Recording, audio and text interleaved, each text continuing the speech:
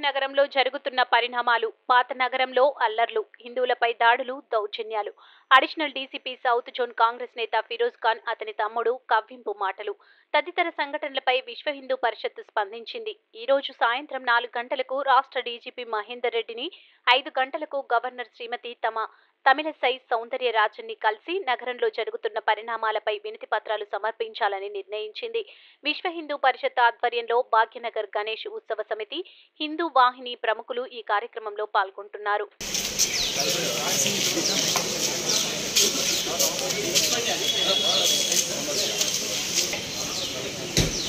ఎంఐఎంకి బ్రోకరా?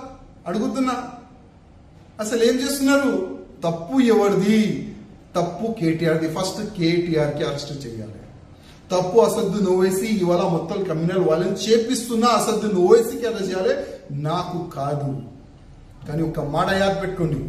రాజా సింగ్ని jail వేద్దాం రాజాసింగ్ని arrest చేస్తాం రాజా సింగ్కి తడిపాటు చేద్దాం రాజా సింగ్కి పీడి యాక్ట్ వేద్దాం ఏ యాక్ట్ వేస్తారా ఏం చేస్తారా రాజా సింగ్ ఇంట్లోనే ఉన్నాడు ఆయన ఆఫీస్లో ఉన్నాడు ఓపెన్ ఉన్నాడు రండి ఐఎమ్ రెడీ. అన్నిటికీ రెడీ. ధర్మం గురించి సావానికి రెడీ ఈ రాజా సింగ్. ఇవాళ ఓపెన్ చెప్తున్నా.